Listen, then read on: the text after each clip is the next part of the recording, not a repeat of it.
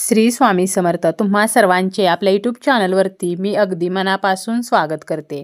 तुमच्या मनातील सर्व चांगल्या इच्छा स्वामी महाराज पूर्ण करत हीच स्वामींच्या चरणी प्रार्थना करते आणि आजच्या व्हिडिओला सुरुवात करते. गुरुपुष्यामृत योगावरती केलेले कोणतेही काम निष्फळ होत नाही. तर ते काम जे आहे तर ते सफल होत असते. तर असाच गुरुपुष्यामृत योग जो आहे तर तो गुरुवारी येणार आहे आणि या दिवशी आपल्याला एके ठिकाणी हळकुंड आणि धने जे आहेत तर ते ठेवायचे आहेत. त्याचप्रमाणे कमळ बीज म्हणजे कमळाच्या बीचासुद्धा आपल्याला एक उपाय जो आहे तर तो करायचा आहे.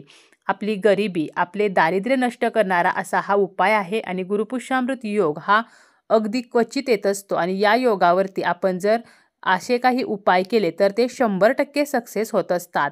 त्याचप्रमाणे आपल्या घरातील जे काही दारिद्र्य असेल किंवा जी काही गरिबी असेल आर्थिक अडचणी असतील पैशासंबंधीच्या समस्या असतील तर त्यासुद्धा नष्ट होत असतात. गुरुपुष्यामृत म्हणजे पुष्य नक्षत्र गुरुवारी आले तर गुरुपुष्य योग जो आहे तर तो बनत असतो.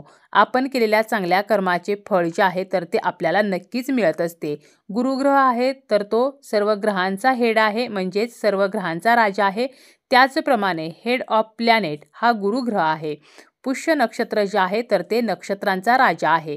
तर असं हे पुष्य नक्षत्र गुरुवारी आल्यामुळे गुरुपुष्य योग जो आहे तर तो तयार होत असतो.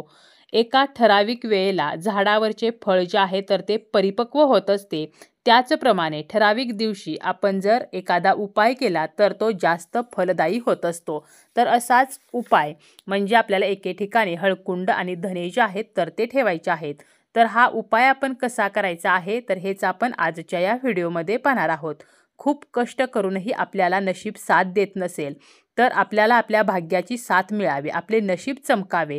तर यासाठी गुरुपुष्यामृत योगावरती आपण सोन्याची चांदीची खरेदी करत असतो.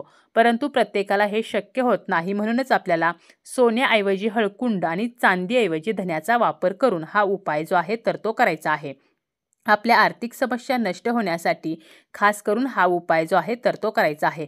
आता यासाठी आपल्याला या दिवशी खरेदी करून आणायचं आहे ते म्हणजे हळकुंड आणि धने. आपल्या घरामध्ये जरी हळकुंड असतील धने असतील तरीसुद्धा आपल्याला नवीनच हळकुंड आणि धने जे आहेत तर ते खरेदी करून आणायचे आहेत. मुठभर धने जे आहेत तर ते घ्यायचे आहेत आणि आपल्याला पाच हळकुंड जे आहेत तर ती घ्यायची आहेत. यासोबत आपल्याला अकरा नाणी जी आहेत तर तीसुद्धा घ्यायची आहेत.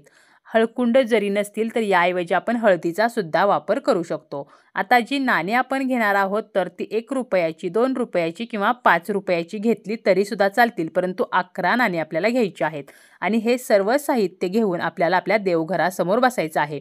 दिवसभरामध्ये कधीही आपण हा उपाय करू शकतो. सर्वप्रथम आपल्याला दिवा लावून घ्यायचा आहे. शक्य असेल तर तुपाचा दिवा लावा. दिव्याला हळदी कुंकू अक्षता फुल अर्पण करायचं आहे. किंवा सकाळची देवपूजा झाल्यानंतर जरी आपण हा उपाय केला तरीसुद्धा चालेल. यानंतर उपाय करताना स्वतःला बसायला आसन घ्यायचं आहे. स्वतःला हळदी कुंकू लावून घ्यायचं आहे. माता लक्ष्मीसमोर आपल्याला एक लाल रंगाचं कापड जे आहे तर ते अंतरायचं आहे. हे कापड कॉटनचं आणि नवीनच असावं. यानंतर या कपड्यावरती आपल्याला मुठभर धने जे आहेत तर ते ठेवायचे आहेत. त्यावरती पाच हळकुंड ठेवायचे आहेत. आणि आपल्याला अकरा नाणी जी आहेत तर ती ठेवायची आहेत. आणि या लाल कपड्यामध्ये आपल्याला हे सर्व साहित्य बांधून आपल्याला पोटली म्हणजेच पुरचुंडी जी आहे तर ती तयार करायची आहे. यानंतर आपल्याला ती पोटली जी आहे तर ती आपल्या उजव्या हातामध्ये घ्यायची आहे. आणि यानंतर सोळा वेळेला किंवा एक वेळेला महालक्ष्मी अष्टकम म्हणायचं आहे. एक वेळेला माता लक्ष्मीचा मंत्र म्हणायचा आहे आणि यानंतर माता लक्ष्मीच्या चरणाजवळ आपल्याला ही पोटली ठेवायची आहे. या पोटलीला हळदी कुंकू अक्षता फूल अर्पण करायचं आहे. अगरबत्तीने धुपाने आपल्याला या पोटलीला ओवाळायचं आहे.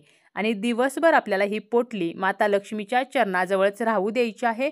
दुसऱ्या दिवशी सकाळी स्नान करून स्वच्छ वस्त्र परिधान करून ही पोटली उचलून आपल्याला तिजोरीमध्ये ठेवायची आहे. तर असा हा धनप्राप्तीसाठी अत्यंत खास असा उपाय आहे. त्याचप्रमाणे माता लक्ष्मीला लाल रंगाचे फूल आपण अर्पण करू शकतो. खिरीचा नैवेद्य जो आहे तर तो सुद्धा माता लक्ष्मीला अतिशय प्रिय आहे तर तो सुद्धा आपण या दिवशी दाखवू शकतो. कमळाच्या फुलाला धार्मिकदृष्ट्या खूप महत्त्व आहे तेवढेच महत्त्व कमळाच्या बीजला म्हणजेच कमळाच्या बीला सुद्धा आहे. ज्या ठिकाणी कमळाची फुले मिळतात तर त्या ठिकाणीच कमल बीज जे आहे तर ते सुद्धा आपल्याला मिळत असते.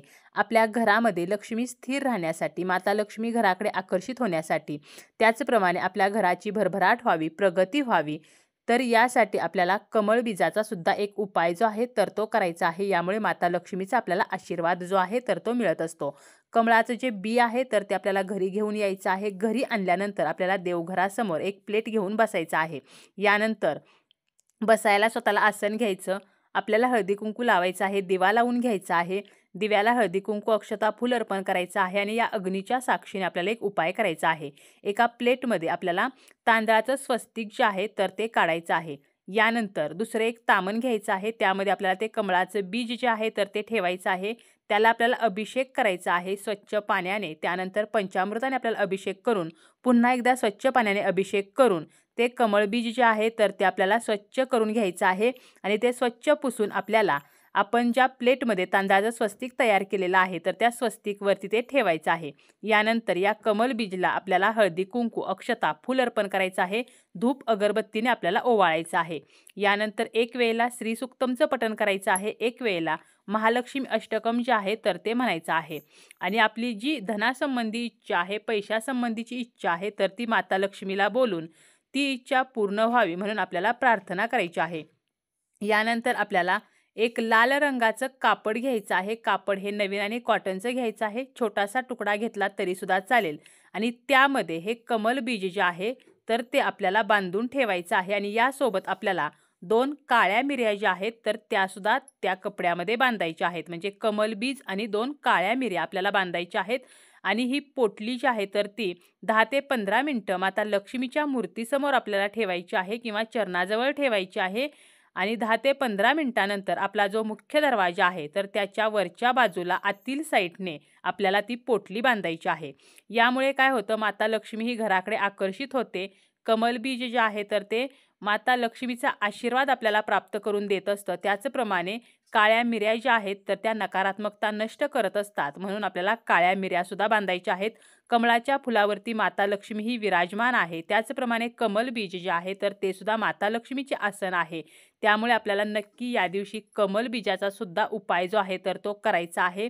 यामुळे धनप्राप्तीचे नवनवीन मार्ग जे आहेत तर ते सुद्धा आपल्याला मोकळे होणार आहेत आणि माता लक्ष्मीच्या कृपेने आपल्या घराची सुद्धा भरभराट होईल.